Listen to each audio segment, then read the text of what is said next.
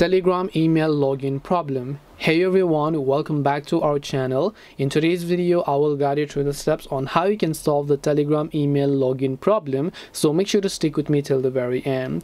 Now, if you're having issues while logging into your Telegram because maybe it's asking you for your email address or anything, one thing that I can tell you is that Telegram does not ask you for your email address.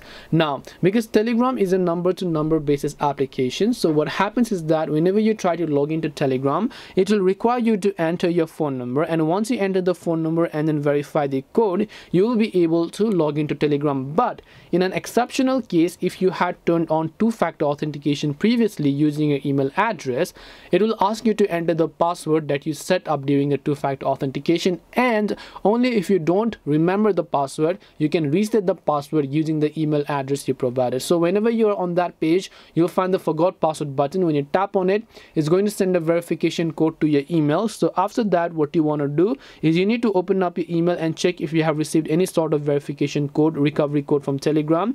When you copy and paste the recovery code that you receive in the telegram email and then after that when you paste them you'll be taken to the new page where you can enter a new password without having to remember the old password.